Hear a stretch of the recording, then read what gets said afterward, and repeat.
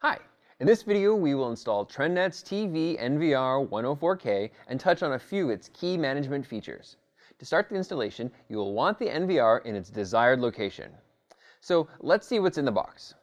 We have the NVR and its power adapter, two TRENDnet TV IP 320pi cameras, related mounting hardware, a mouse, an HDMI cable, a CD, quick install guide, and three network cables.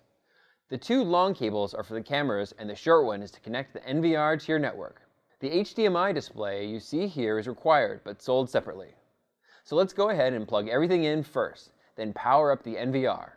For the initial setup, we recommend keeping the cameras next to the NVR. Once the setup is complete, they can be installed in their final locations. A setup wizard will appear and prompt you to change the username and password and set the time and date. Let's go do that. Now you see the video of both the TV IP 320pi cameras. You can install up to four cameras on this NVR.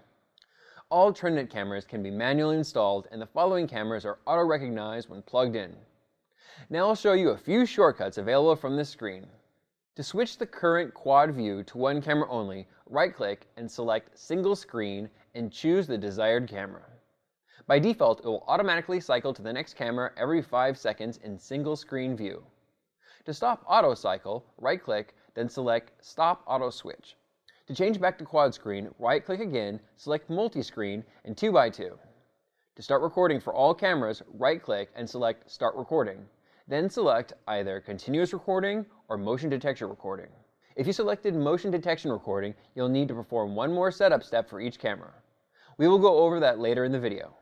Another handy shortcut is Playback. If an event just happened and you want to review recorded video, left-click on the desired camera. Then select the green Playback button to playback for the last 5 minutes of recorded video. For full playback controls, you can jump to it by right-clicking on the desired camera and selecting Playback. Before getting into this function, let's go to the main menu. Right-click on the screen and select Menu. Here we see 8 management icons.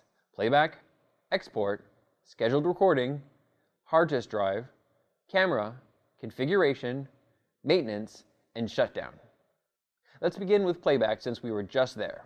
Starting in the top right corner, you can search recorded video from all cameras at once or any combination of cameras you choose.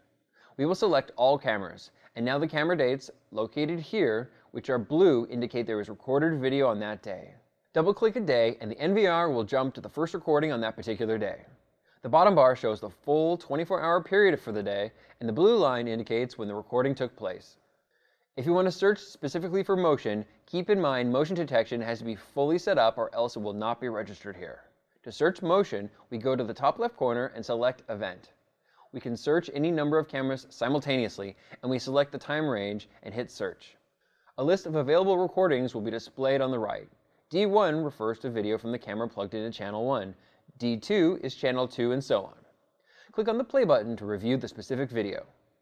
Now, we also talked about the need to complete motion detection setup from that main menu. To do that, let's go to Camera and select Motion. Camera 1 is selected by default.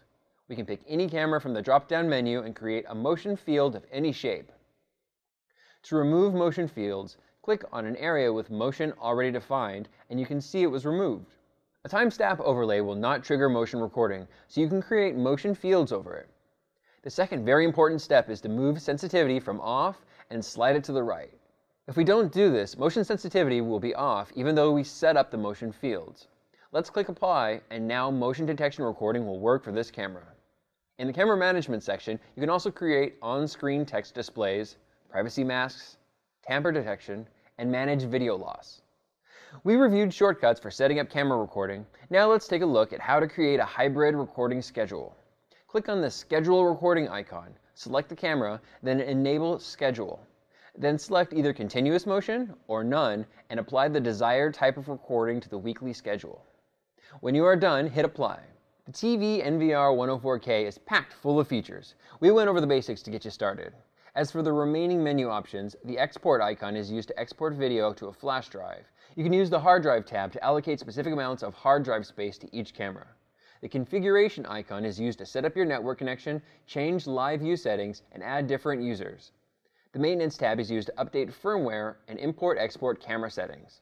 And finally, the shutdown button is to either shut down or power cycle the TV NVR 104K. It's time for me to shut down as well. Thank you for taking the time to learn more about TRENDnet's TV NVR 104K.